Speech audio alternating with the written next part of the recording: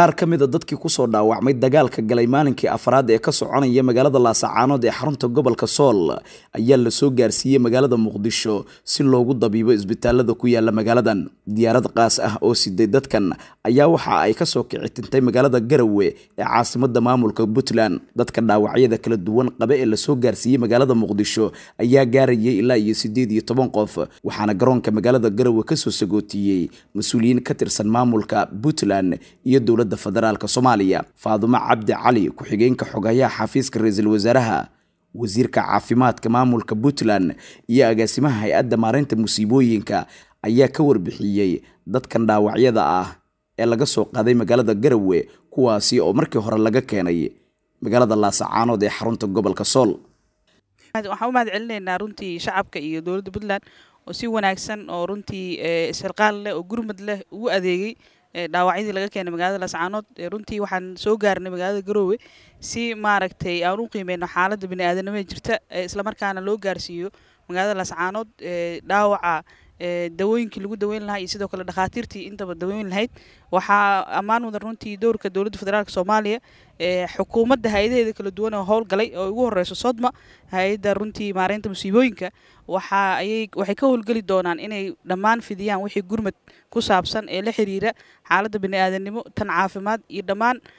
dhibaatadii halkaa ka dhacday wixii looga jawaabi lahaa dowladda soomaaliya runtii waxay sidoo kale baaq u dirtay dhammaan hay'adaha caalamiga ah oo hadda ka howlgalayba sidii ay gargaar ugu fidin lahaayeen haddii noqon lahayd runtii fududeynta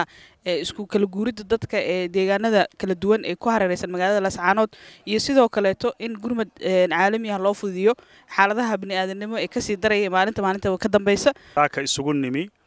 in aanu ambabixinno qayb ka mid ah dhaawacyadii ay dhaawacyadu ka soo gaadheen dagaalada ka socda magaalada laascaanood intani waa namber kooban marka loo eego tirada dadka dhaawacyadu ka soo gaadheen cunfiga halkaa ka jira. Aad iyo aad baan uga mahad celinayaa dhammaan hay'adaha heer puntland iyo heer federaalba ee ka qayb qaatay in ay suuro gasho in dhaawacyadan aanu halkan maanta ka dirno iyo dhammaanba kuwa ka qayb qaadanaya in la daweeyo dhaawacyada ku hadhay ee yaalla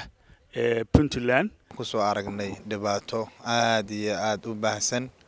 oo dadkaas shacabka ah oo lagu lagu gumaadayo sida xaqdarada ah baan ku aragnay inay yaallaan goobahaas. Dadkaan arkaynay marxalado kale nooc ay ku jireen dad jajaban iyo dad madaxa bada kaga dhaceen oo dhaawaca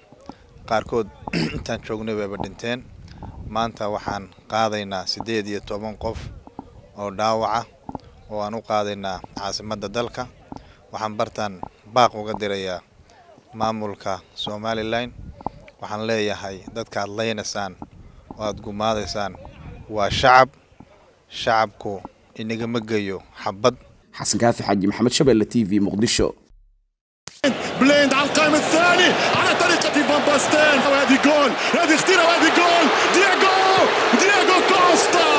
اللي هي لعنة سلفادور. شيء كبير شيء كبير. السلسعو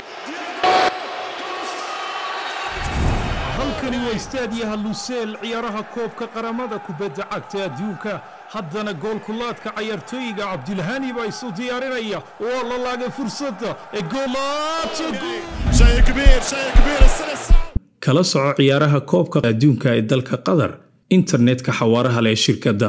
samtel. Adigoo isticmaalaya hal eber laba samtel caalami